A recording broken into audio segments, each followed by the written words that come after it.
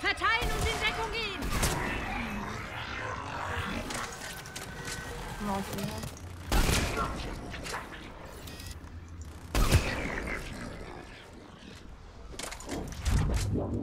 Auf die Flanken achten! Sie dürfen uns nicht umstellen!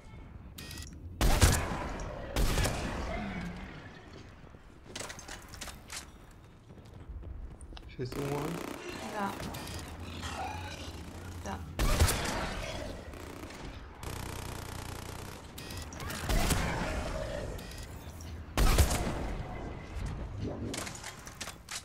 Was für Auf Dinge? unser Einsatzgebiet achten! Steht da dran. Bohrenkapsel.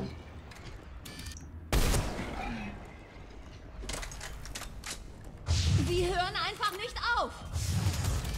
Weitere Feinde voraus!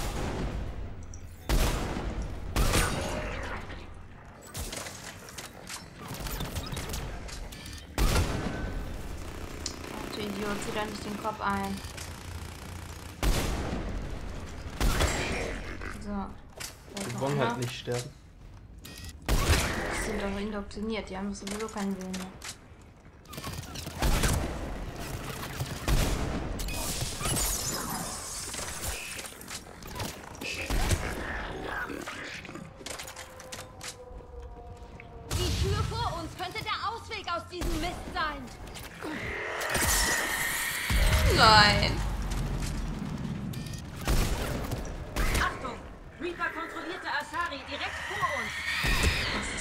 Gesagt.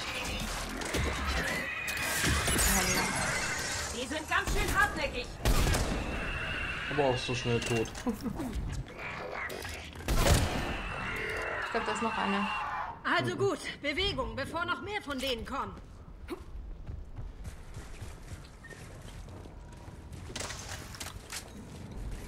Okay. Dann mal rein da. Ja. Das sieht ja aus hier, ey. Ich kann diesen Dingern immer noch nicht entgegentreten. Meine eigenen Leute. Die Erfahrung lehrt, dass die Reaper organische Wesen auf ihre eigene Spezies hetzen. Das dient der psychologischen Einschüchterung. Über uns! Langsam beginne ich zu verstehen, was der Begriff Albtraum für organische Wesen bedeutet. Und warum sie in Panik geraten, wenn sie nicht aufwachen können.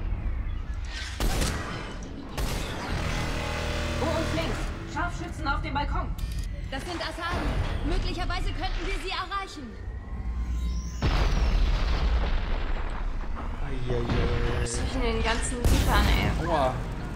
Was war das denn? Hier ist Spezialistin Kayla. Spezialistin Geneva wurde soeben durch Feindbeschuss getötet. Was ist mit Shepard? Noch kein Anzeichen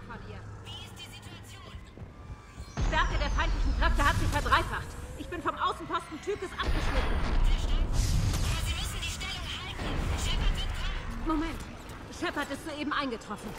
Kopf einziehen. Wie lange können Sie durchhalten? Jetzt, wo Sie da sind, so lange wie nötig. Können Sie diesen Krieg wirklich gewinnen? Wenn wir es zu dem Tempel schaffen, sind die Reaper Geschichte. Dann schnappen Sie sich da drüben Ausrüstung, wenn Sie welche brauchen. Wir heizen denen ein. Das ist eine Todeszone, Commander. Netter Schuss.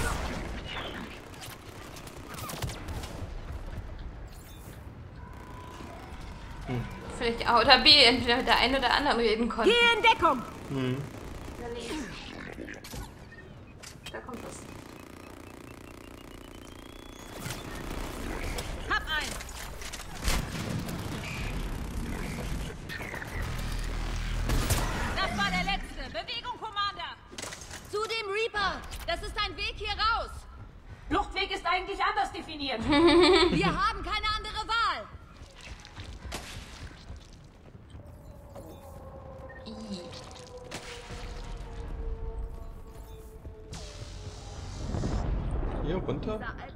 Hört niemals auf. Nach hinten.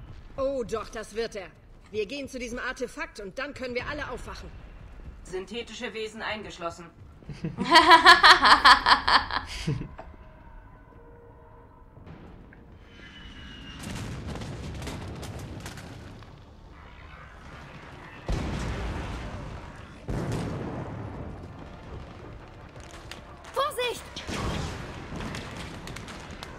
Wir wollen zum Außenposten Tykis. Sie stehen genau davor. Was ist mit dem Rest Ihres Trupps? Sie sind alle tot. Wir wollten zu den Wissenschaftlern, aber nur ich bin noch übrig. Was ist mit Verstärkung? Dafür hatten wir Jäger, aber das ist wegen des Reapers zu gefährlich. Sie können es nicht wagen. Ja. Ja, es ist hart, aber ohne deren Hilfe kommen wir nicht rein. Habe ich schon erwähnt, wie sehr ich diesen Krieg hasse? Taylor und Schwarm, hier Außenposten Tykis. Gibt es auf dieser Frequenz noch jemanden? Wir brauchen sofort Luftunterstützung. Commander Shepard ist hier. Verstanden. Hier Talon 1. Bin unterwegs. Talon 5 im Anflug. Bodenziele bestätigt. Waffen überhitzen. Fackelt sie ab. Luftunterstützung ist doch schön.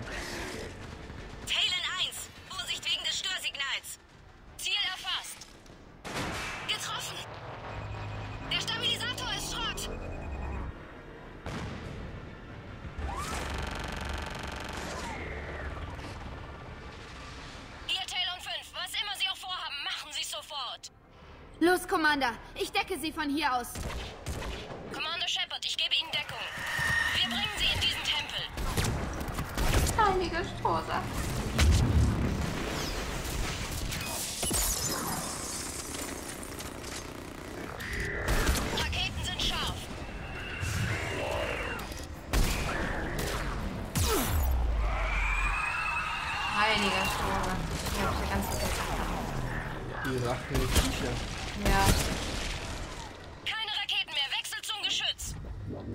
Ob wir beim nächsten Krieg die Allianz auch zu einer Luftunterstützung überreden können?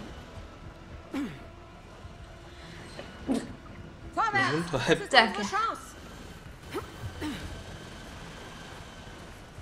Die Spornkapseln explodieren. Vorsicht, weitere Feinde voraus. Achtung! Weitere Husks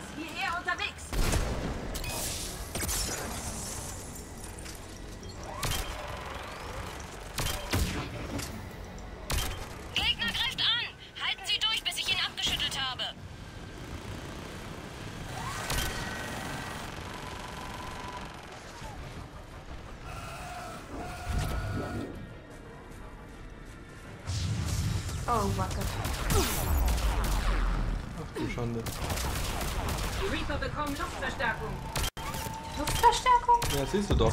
Ich weiß nicht, was das ist für ein Viech. Heuschrecken. Ja, Heuschrecken. Schön aus. Verstehen die? Ohne die Pilotin stehen unsere Chancen eher schlecht. Ja, vor allem, wenn man mitten im Weg steht. Und feuern Sie mit allem, was Sie haben.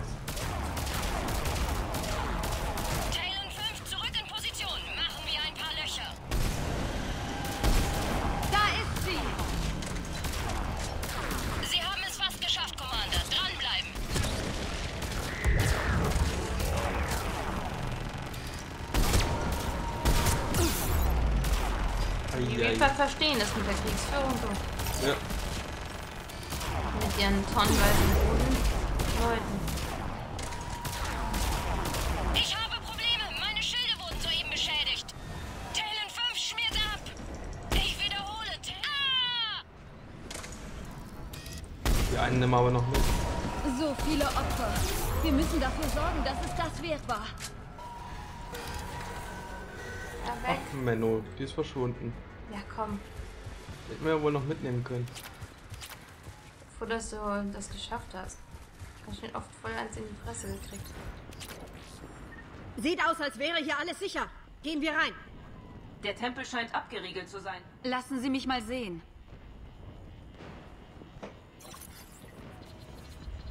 Es ist eine Militärchiffrierung. Ich denke, ich kann sie deaktivieren. Ungewöhnlich für ein religiöses Gebäude. Vor allem, weil nur noch wenige der Athame-Doktrin folgen. Was hat denn die alles? Das ist das Schild, was die anhat. Okay, los geht's. Hallo? Ist da jemand? Man würde erwarten, dass die Wissenschaftler sich hier befinden. Sehen Sie sich um. Das, was wir suchen, ist vielleicht eins von diesen Artefakten. Ich vermute, das sind die Wissenschaftlerinnen.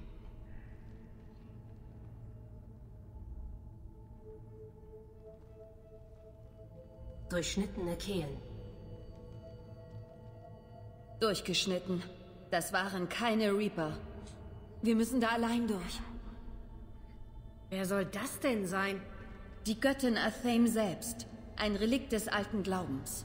Erstaunlich, wenn man bedenkt, dass diese Doktrin niemand mehr praktiziert. Es ist ziemlich raffiniert, selbst für unsere Verhältnisse. Obwohl Athame historisch sehr bedeutsam ist. Früher glaubten wir, die Götter wären von der Welt getrennt und blickten auf uns herab.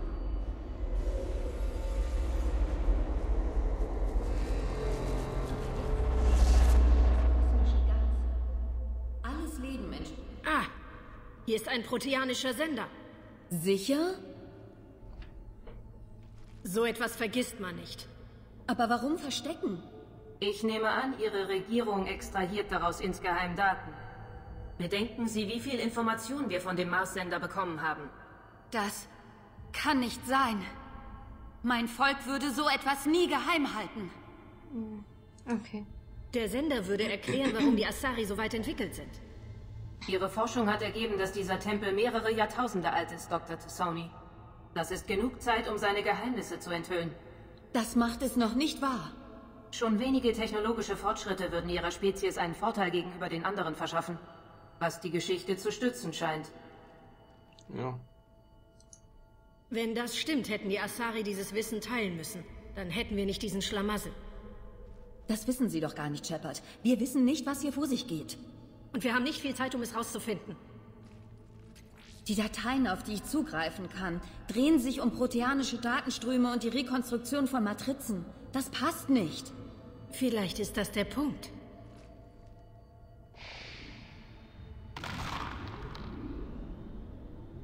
Bei der Göttin.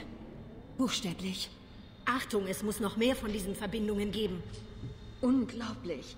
Der Sender scheint sie für eine Proteanerin zu halten, Shepard. Der Dechiffrierer, den sie vor Jahren auf Ferros bekamen.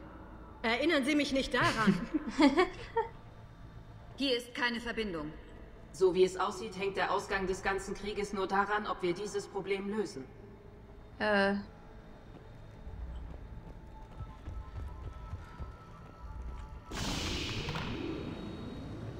Die was, würde ich sagen. Noch irgendwo so eine Stahlkonsole? Da hinten Nee. vielleicht? Hier ist nichts. Dann vielleicht woanders. Genau. Der Sender scheint hochzufahren. Die Sequenz ist immer noch unvollständig. Den Sieht nicht aus wie eine Verbindung.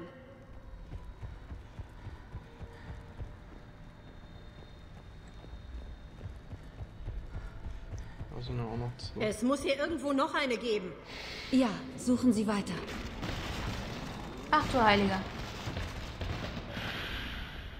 Geschafft. Wir haben jetzt Zugriff auf den Sender. Wir müssen uns beeilen. Diesen Ort wird es nicht mehr.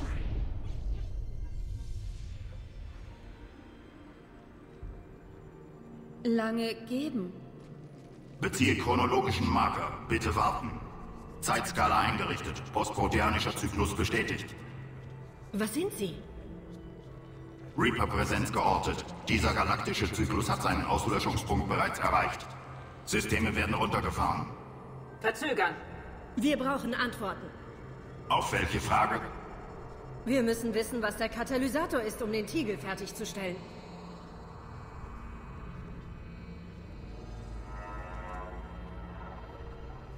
Ein Proteaner. Der hier zeigt keine Anzeichen von Leben. Ich bin Vendetta, ein modernes virtuelles Konstrukt von Pashek Vran, Leiter des Projekts, das sie Tiegel nennen. Er fiel im Kampf gegen die Reaper bei der Schlacht von Tranbir 9. Ihre Zeit ist ebenfalls abgelaufen. Waren alle Proteaner so hart? Der Tiegel. Wir hätten doch äh, Jarek mitnehmen sollen. Ja.